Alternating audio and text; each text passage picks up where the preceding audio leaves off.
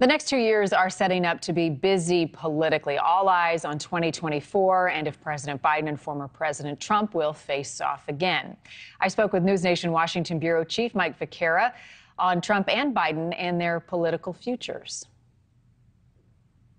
Has the door opened wide enough, Mike, that he could face a legitimate challenge in the nomination? Uh, we're talking about President Trump, Marni? Correct. Former President Trump.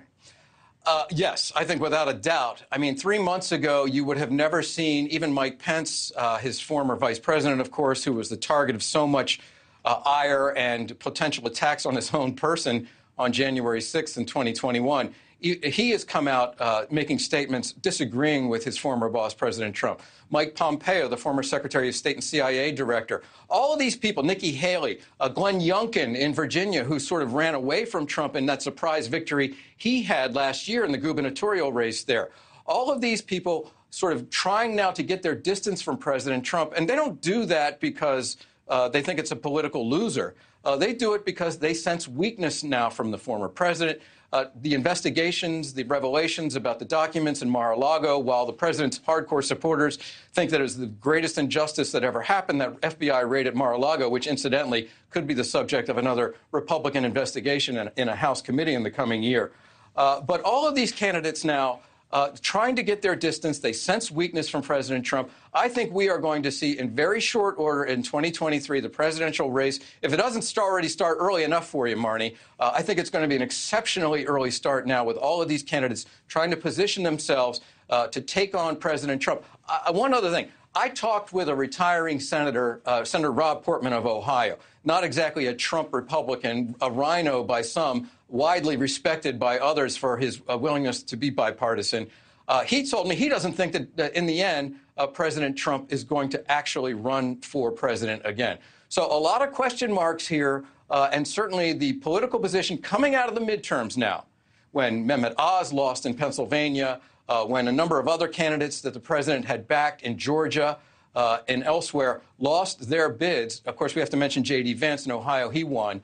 Uh, but Warnock beating Herschel Walker and other races, uh, sensing weakness are Republican rivals of former President Trump and really starting to hit the ground and show up at these campaign style events, these early events that sort of inspire donors and supporters to get behind them as we head into what is, again, going to be an early start to the presidential race, Marni. Yeah, you're right about that, Mike. It has started. And on the other side, Biden has not announced yet if he will seek reelection. What are your sources saying?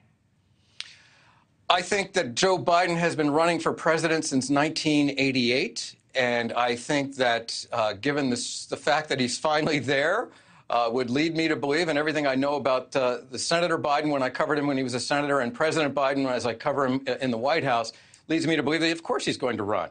Uh, you know, he would be 82 years old when he's when and if he were sworn in in uh, January of 2025.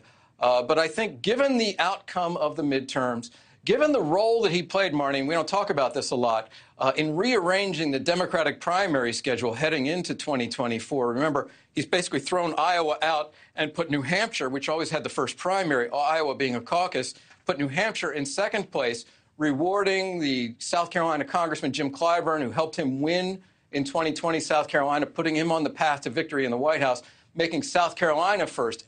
The point is, is that President Biden asserted himself in that process. Uh, so he could favorably gain some traction early in the primary process. I don't think that there is a Democrat that's going to come out and challenge President Biden in the primary as we sit here uh, today, just after Christmas. Uh, I think that uh, that's highly unlikely. Last time I can remember it happening was Ted Kennedy uh, challenging Jimmy Carter and on the Democratic side in 1980. That weakens your president, even though he's a president, presidential incumbent, uh, we know what happened to Jimmy Carter in 1980, being routed by Ronald Reagan. Uh, remember in 1992, Pat Buchanan on the Republican side challenged uh, George H.W. Bush, Bush 41, weakening him. He lost to, to, Bill Clinton.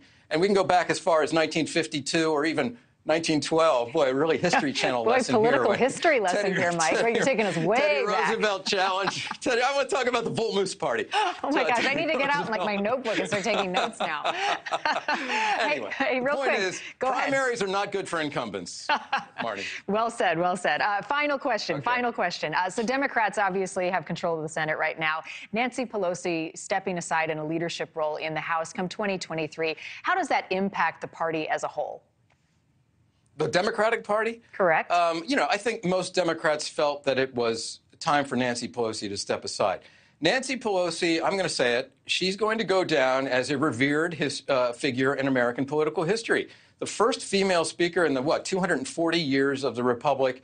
Uh, she was not only respected just on the basis of that historical fact, but the fact that she was an excellent organizer, an excellent counter of nose, noses, an excellent behind the scenes player, a whipper of votes. Uh, she was good at what she did. She was a, an excellent legislator. Uh, ever, you know, there's no in between with, when it comes to Nancy Pelosi. Uh, she's reviled by many people, particularly Republicans, obviously, particularly MAGA, Repu- MAGA Republicans, uh, but you know, really uh, revered by others on the Democratic side. She was Speaker twice. Uh, she finally stepped aside when uh, Democrats, again, barely lost the House of Representatives. It Would have been really interesting to see what she did if Democrats had hold on, held on. Uh, but it's time for a change. Everybody recognizes that. Thank you for watching. Go to newsnationnow.com to find News Nation on your television provider. And don't forget to click the red subscribe button below to get more of News Nation's fact driven, unbiased coverage.